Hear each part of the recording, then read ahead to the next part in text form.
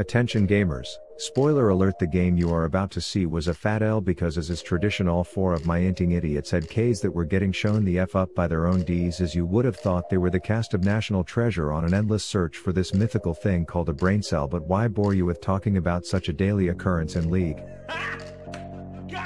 This video is going to focus on the dysfunctional relationship between the two who I have now nicknamed Rolling Rock Biggie Smalls, and Aerosimp Tupac. Because boy did they hate each other and boy did they both end up dead a lot. So as I so elegantly started to summarize what you are about to see in chat, Biggie and Tupac had just met in Champ Select one of the millions of bastard-like births to another ratchet-ass rift relationship taking place daily and no it did not take long for these two to develop a deep and unquenchable hatred for one another because taint sniffer Tupac wouldn't shut up about farm which added a lot of irony to the plot because he missed half the uncontested creeps that were served to him on a platter anyway copium while Biggie Bowler here was quote unquote bad, and as a neutral third party just trying to win one effing game, I can confirm this alleged badness. Anyways the events that follow will document how I am convinced League of Legends is now a social experiment seeing how people like me react to the most absurd and negative IQ arguments costing them their game so I hope you enjoy because God knows I did not. Now to set the scene I was playing the top hatted hottie mid in an attempt to sequel my one shot snipe build that looked like this plus nothing gets a lady's lower lips more lubed up than hearing her husband yelling shit about fuzzy cuffs at his computer and I owe at least that much to my wife. So early on we get into this weird standoff where I am baiting the wind shitter toward my Bob the bowling jungler while knowing there's a color me caribou touching herself in the other shrubs but Rammus doesn't read maps and I have the reflexes of a dead sloth so I spectate him taunt the twin of he who shits wind before one last nibble gets him the kill and the popcorn grease all over my body shows I'm guilty of spectating that debacle but a Q auto auto flash into smash dat stag combo makes it all worth. Then I desperately want to go on a shopping spree but a combination of me having double buffs and a bad case of FOMO on a red robe genocide makes me overstay but luckily for me this two sword two brain cell degenerate also has fear of missing out on doing something dumb as shit as he double douche dashes into the danger zone for a quick game of fruit ninja only to be sent back to his tethered bloody reality lit on fire and dead AF.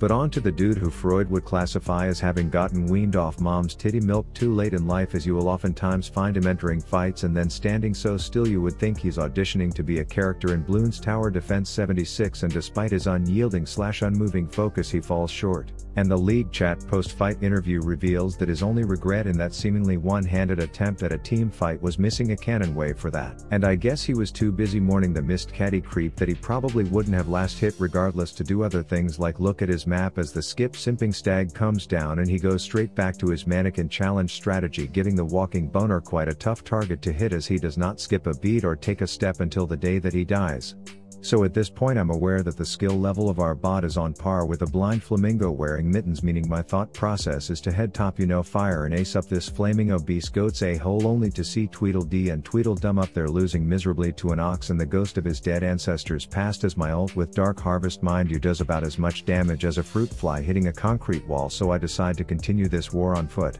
all while I am starting to get the feeling that our ADC is one of the super common self-approved Challenger League coaches too worried about what everyone else is doing wrong to realize enemies literally think has been tabbing out during fights but anyways I find fat Uncle Buck rubbing a quick one out in the shrubs so I bear trap his ass then throw my net away because it was weighing me down to which I should be celebrating but I see that the man-child who plays this game to get in petty fights about anything at all like he is the Ben Shapiro on the Rift gets the attention he cries every game for making me think this toddler is about to tantrum. But then I see this which perks me up like a saggy tit in the presence of silicon as I'm thinking toxic yes but maybe he walks the walk only for the replay to reveal that this dude just got so lucky I would have advised him to tab out and buy lotto tickets on the spot as that triple was the result of one Q and a few more stand still sentry turret autos after which he informs us that he was entitled to such a bounty after missing so much CS and what makes this the fattest meme to me is that after crying like a baby with a boiling spoon stuck to its gooch all game about how important his farm is,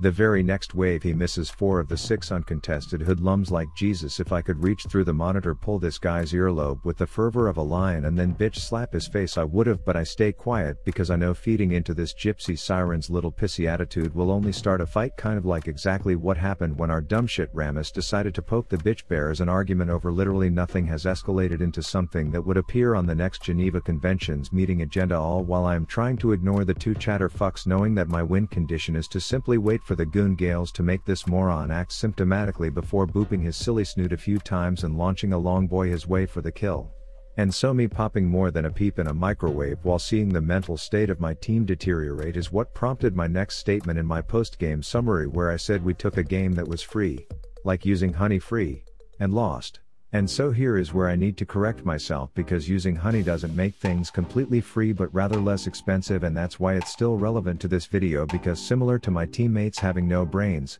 Using this browser extension to save money during online purchases is a no-brainer. Consider this, your younger sister somehow got her hands on Mr. Beast's credit card which by the property of older brothership means it's yours now so you're eyeing up a dank new green truck and the salesman is like you live in LA so that piece of crap will cost you 150 and you are on the fence until this handsome devil shows up playing the part of honey as he says 150 my ass I found all these coupons which makes it only 65 so you get your truck and spend the extra money on Tesla stock which means a few years later you get a slightly different version of that truck plus a big house and tons of good looking chicks that swear they don't just hang out with you for your money. But that never happened because you gave your sister the extra money so she bought tickets to Romeo and Juliet on Broadway and long story short she's in the hospital because her and her boyfriend accidentally poisoned themselves role playing it one night but the moral of the story is that Honey is the hero here because it's not just a proverbial well-groomed chat it's a free to download browser extension that works on tons of sites scours the web for coupons and saves you money without you having to lift a finger.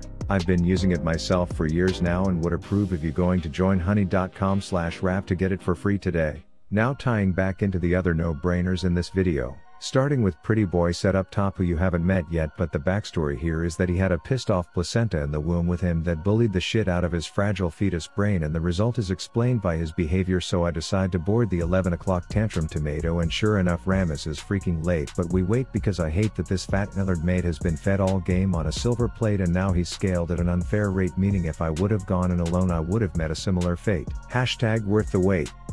Meanwhile Southside this Thresh has his autographed Mad Life jersey on trying to make plays only to be left hanging hard and stuck looking stupid as shit but if you handed this Varus a kite he would wait for the most windless day in history to try and fly that shit as his standstill antics land his bitch bow back in base once again. So the R team's pitiful excuse for a porcupine head spot to try and salvage the situation by calling in his fat cousin Hank the Scuttle with a big stanky taint but unfortunately you see the reason why brain balance ads are littered with pictures of this moron so despite quite the optical vomit out of Project Calamari nothing ends up happening. That is until our little toxic Tommy here leads the charge into I'm a dumbass Phil letting Lantern Larry forcefully introduce him to a temperamental tower that turrets his zombie walking ass down. To which the two dead bitches bicker about whose performance will leave their mom more embarrassed and I don't take sides in pointless wars despite thinking Virgin Varus was crafting a decent argument here as I had more important matters to attend to like hitting this skipping stag with a flash Q auto into let's all take a knee to mourn the death of this outplayed little deer combo. So as the two inbred baloney men continue to road rage at each other over the past I wait for the windshitter to appear mid and then I demonstrate that aside from the full head of hair you see under this top hat everything else about me looked like Mr. Effin clean here. Then Varus starts CCing the enemy team who probably couldn't care less about this dude's insane internal micropenis complex as Rammus brings his case to the court as douche number 1 makes an attempt at sarcasm but in all honesty I thought he did get all 7 of his kills while typing considering I haven't seen him move once during a fight yet so I just kinda figured his character was auto attacking the nearest target while he was two-handing the keyboard but at least my other teammates were still giving me something to look forward to. That said I guess the two run out of actual topics to debate on so the argument hits staggeringly low IQ levels where I almost tabbed out to see if they were just reading through the parts of Brennan and Dale from Step Brothers where the writers very deliberately tailored the script to make both guys sound like socially underdeveloped pretentious pricks but unfortunately I get caught in the act of an ace up the a-hole attempt which lands me with no choice other than to Varus this fight by filming my submission for the mannequin challenge as he educates us that he is both bad from behind and mildly dyslexic. And honestly going back and watching the replay of this sexually ungratified Archer I was convinced Ashton Kutcher was going to pop out and say I was being pranked because this man had like a friggin' fetish for entering fights and then seemingly tabbing out hoping his AFK auto attacking ass would somehow pull him home the dub. Now up until this point I was impartial in this whole animosity over absolutely nothing encounter but when I saw the most pathetic raid on Rift Herald attempt NA going on I ran up to help only to see it was being shrub puppy guarded by a giant fed ox who I know was just fully erect ready for some fuzzy cuff bestiality-esque bullshit if I walked up so I tried to make it abundantly clear that we could DP this arrogant antler shitstain and then resume his endless excursion but while he blatantly ignored my signs their team's backup arrived all the way from bumfuck Egypt and two girls one cup had nothing on two 2 ults 1 cop. But hey at least he got his Rift Herald right?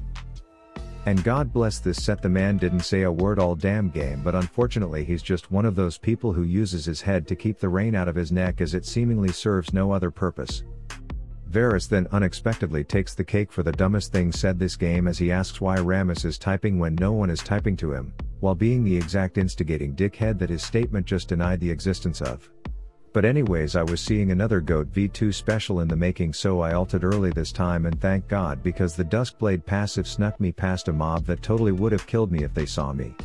And for context our arrogant archer remained steadfast in his ways of getting slain due to standing still like a silly putty brain push shit but according to him that death was actually due to him helping the idiot. Hey hey guys did you hear the one about the inting idiots that fought all game but then ended up rallying together in a team fight to focus down the fed enemy ADC? Yeah me either but I heard it was a banger of a story copium and update in case you all were unaware, Varus is just a piece of shit who won't stop complaining random smiley face and if you need more context about what he is complaining about please see exhibit A entitled someone needs to unplug these shitters keyboards they would be better off just right clicking at this point. Anyways I catch the world first Rammus losing a 1v1 to an AD champ in history hashtag I know backseaters that Yone does mixed damage as I send a Q that gets to the party too early before full lethal leasing a few autos for the kill. So then miraculously I think the two idiots agree on something but like crying twin babies that hate each other's fucking guts they get right back into it as Cetus films one more take for his gig at Trojan Condoms for their commercial series illustrating the negative consequences that can arise from not wrapping your wiggy